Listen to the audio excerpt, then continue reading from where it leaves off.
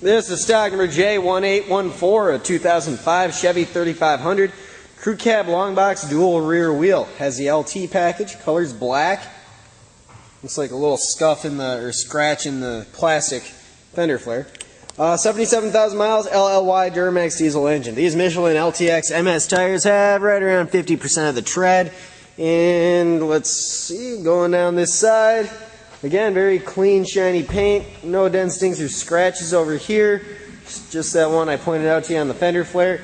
Looks like a little one here has been touched up as well, if you can even make it out. It's not very big. But that's why we make these videos, because these are used trucks, and I want to show you just what kind of condition these trucks are in before you make your trip here, so there's no surprises when you get here.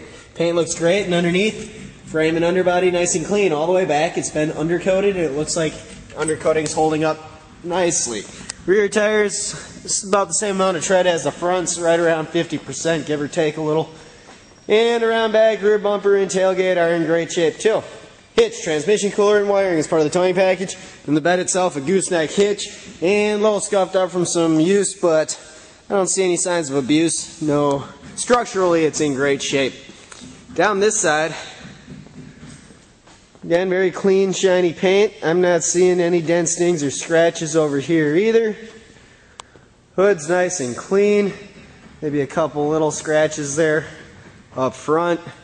Body's in great shape overall, just a couple cosmetic things I pointed out to you. Let's take a look at the interior.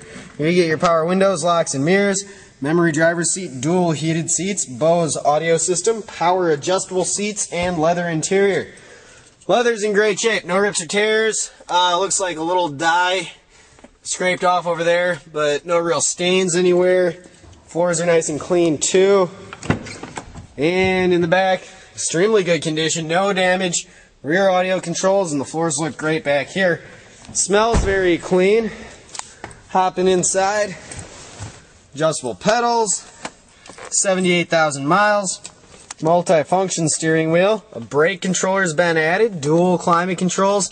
CD player and radio. Fires right up. OnStar on the mirror. Compass and temperature too. Headliner's in great shape. And interior looks good. Let's take a look under the hood. Rear view mirrors are signal pull out tow mirrors. And under the hood, a nice clean engine bay, running very smoothly.